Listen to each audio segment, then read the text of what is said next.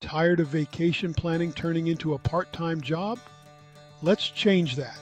So, here's the deal 65% of Americans are vacation deprived because, well, planning a vacation can be a major hassle.